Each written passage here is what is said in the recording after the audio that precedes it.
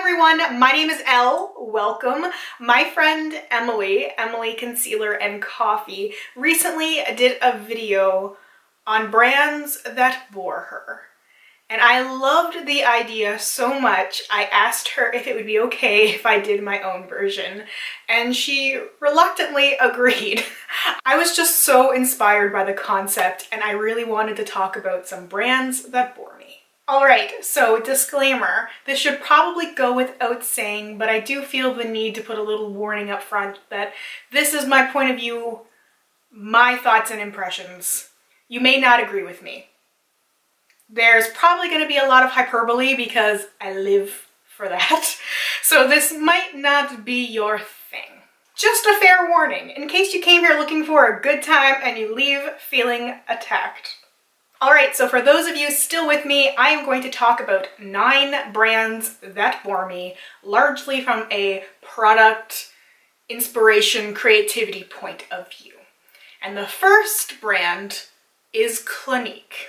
Clinique was founded in 1968, but perpetually looks like it's stuck in 1998. If Clinique had a theme song, it would be the one from Dawson's Creek.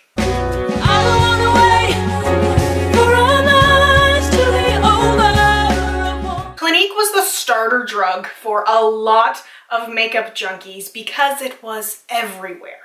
At a time when makeup was nowhere near as accessible as it is now, you could always count on Clinique being at the department store your mother insisted on shopping at. It was always going to be there. And you can still find it at pretty much every department store makeup section.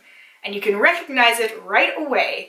The beaming white, the sterilized counters, the lab coats, the orange foundation, but it's so dated. The branding, the packaging, everything is the same that it was before. And it's not even like throwback cool. It's not something that you could even get nostalgic about. It's just tired. Now take a moment and imagine you are standing at that Clinique counter. Because if you look to your left or to your right, or behind you, you would probably see Estee Lauder. And if you did not see the Estee Lauder counter, you could probably smell it and all the old ladies that surrounded it. I don't know what it is about Estee Lauder in department stores, but those counters are always full of the rich old white ladies who bathed in perfume. You can be standing outside the store and you can still smell the perfume. It's so strong. And it's never the Estee Lauder displays in Sephora. Whenever I've been in a Sephora store, I've never seen people crowded around the Estee Lauder display, certainly not older people. Anytime there would be people there, it would be really young people trying to find their match in Double Wear. Yes, the Double Wear foundation, the foundation you're not allowed to dislike. So many people recommend the Double Wear foundation, but it does not look good on everybody. I fell for it because I saw it look good on a couple of people, but it's like a cult of cake faces. It's just not a universally flattering foundation formula. Let me just say that. It's not gonna work for every skin type. And as soon as you mention you don't like it, you get people like attacking. How dare you not like Estee Lauder Double Wear? It's because it makes me look like I'm wearing a mask. And it makes a lot of people look like they're wearing a mask because not everybody has a skin type appropriate for that foundation. Anyway, I'm going off on a tangent here because I just dislike that foundation something fierce. I want to like Estee Lauder because I feel like it's this prestigious brand. Like so many people talk positively about Estee Lauder, but everything about it just bores me. It's just beige. When I think of Estee Lauder, I think beige, but like a scary kind of beige Estee Lauder, like the Estee Lauder companies own everything. Kind of like the Queen of England. I just kind of have this image of the Estee Lauder brand just watching over all of the little companies that they own.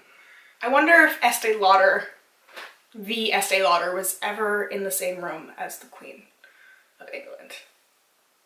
Now I have to find that out. Okay. Anyway, moving on, and speaking of the queen, Lancome. Or Lancome? I've heard it pronounced so many different ways. Everybody says it a little bit differently and then I get confused because I'm so used to seeing it written and not used to hearing it said out loud. So if I did not get the pronunciation correct, feel free to correct me at any time. Just putting that out there. Anyway, the only thing that I can ever remember about Lancome is that Lisa Eldridge is the global creative director. And I don't mean that as the insult that it sounds like. I I love I love Lisa Eldridge. She is the queen.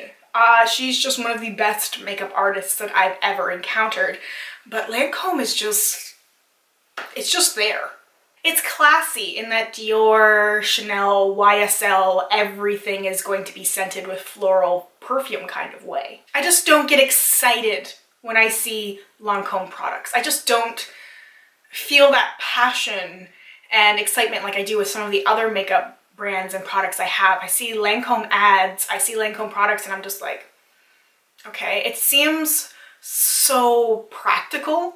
It seems like it's the kind of makeup that appeals largely to middle-aged women working corporate jobs who are trying to move up the ladder, you know, so they're gonna put on their pinky fuchsia lipstick before their meeting and tackle the day, but makeup is functional and practical and almost a necessity as opposed to something that is an expression and fun. I just strongly get that impression from it, which is why I always look past it. And the next brand is so boring, I didn't even think about it the first time I was going through a list. I was trying to come up with my list. I was like the top thing brands that I always skip over, the ones that bore me. I didn't even think about this one until I started thinking about some of the other brands I already mentioned.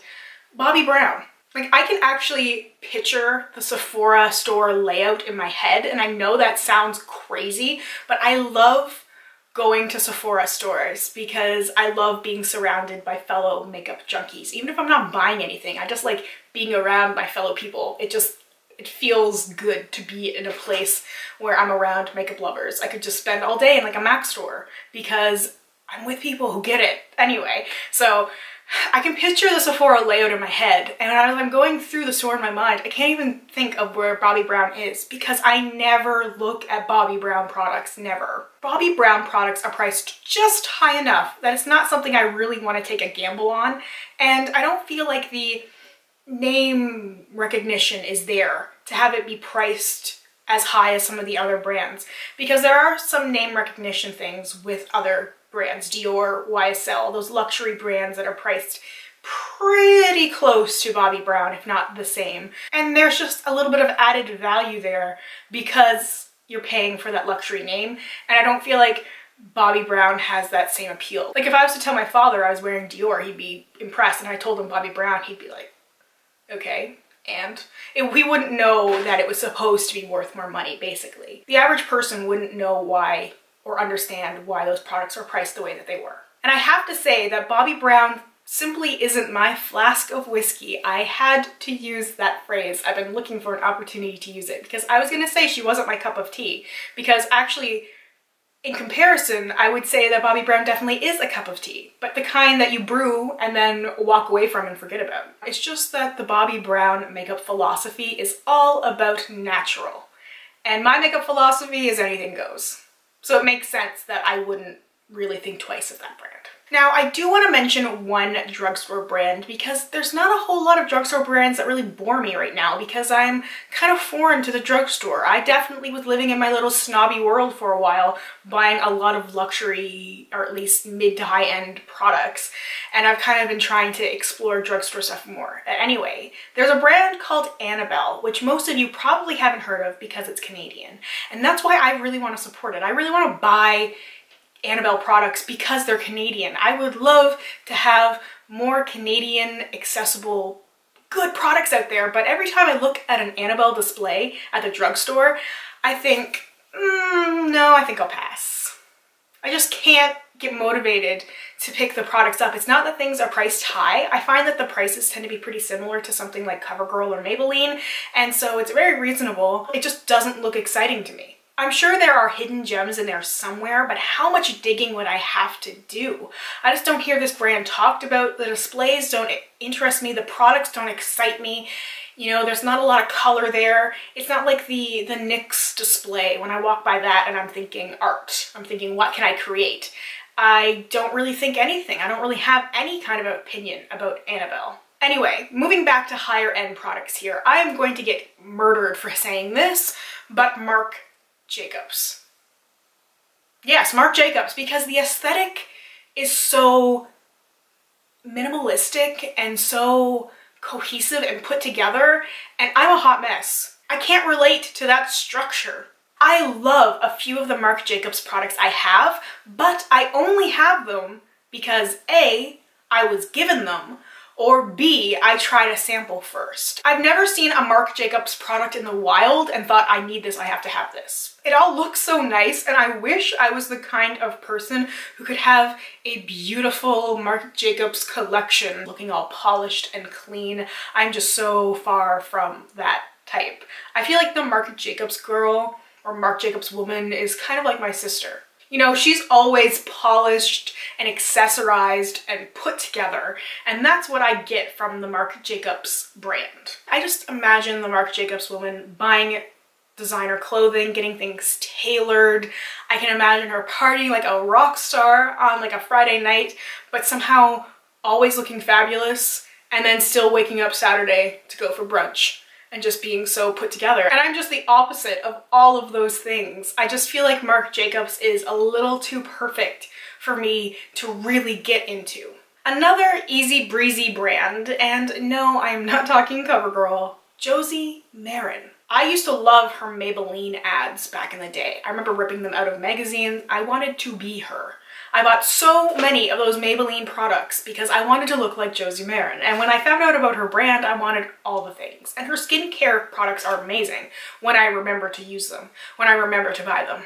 I never think about the brand. It's always that thing that I go, oh yeah, I forgot about that. Oh, I should go repurchase this or purchase this thing that I tried.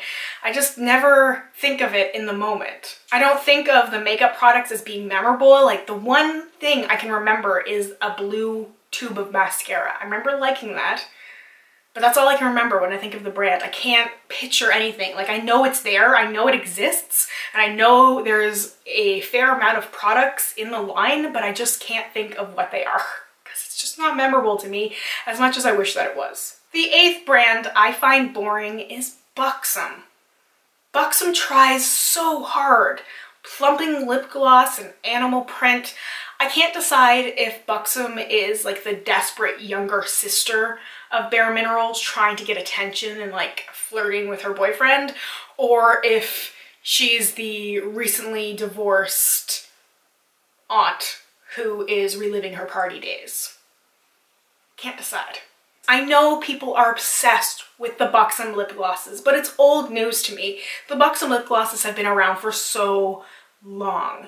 And if you've tried them, you either love them or you hate them. And I'm a person who happens to to hate them because they're too sticky for me. I tried them so many times. I wanted to like them and I've been getting more into gloss again and I just can't do the Buxom thing because my lips just stick together. Hair sticks to my lips. It's just not a comfortable experience at all. And the slightly sexualized imagery that goes along with some of the products, I just... It's not even so far like Too Faced can go or like NARS. It's just like they're trying to be sexy, but it's not working. I think that they made a good effort when they came out with their single shadows, but they had to make it so hard for people because they have their own little compacts. The shadows are a weird shape. They fit into their compacts. You know, why couldn't they have done something like nice little round eyeshadow pans or even little square pans, things that would fit into your own palettes easy instead of having to purchase their own separate things because I have one of those custom Buxom palettes and I never ever open it. I never use the shadows inside because it just looks like another generic nondescript eyeshadow palette. I forget that I have a couple good things in there, but I just don't see it and I don't think about it. Long story short, I feel like if Buxom changed the shape of their eyeshadow pans, more people would use them, you'd see more people talking about them, and they'd be more exciting. And the last brand that bores me is Smashbox. Smashbox products are good, but overall they're so safe. Smashbox is the safety school equivalent. you know you can always fall back on them, you can rely on them, they're gonna be there, but you're looking elsewhere first. I've used some Smashbox products before and I've been okay with them. And if I was given them, I'd use them, but I just don't feel the need to throw my money at Smashbox. I just, I'm not excited by it. I try because some of the products look interesting, but they always end up making me think of something else. Like I'll see a colorful mini Smashbox palette and instead of thinking, ooh, I need that, I'm thinking, ooh, I'll take out my Kat Von D. Overall, I just find Smashbox to be pretty lackluster right now. Anyway, that is everything for the nine beauty brands that bore me. Again, I was largely talking from my point of view and my impressions, and if you disagree with me, Feel free to explain why in the comments. I would love to hear some different points of view and let me know what brands bore you. What brands just don't excite you when you see they've released a new product you just think and next. I, am curious because I know we all have different tastes and we all love different products so I, I, would love to uh, chat with you guys a little bit. Anyway, I hope you guys enjoyed this. Let me know if you did and I hope we get a chance to chat soon. Bye for now.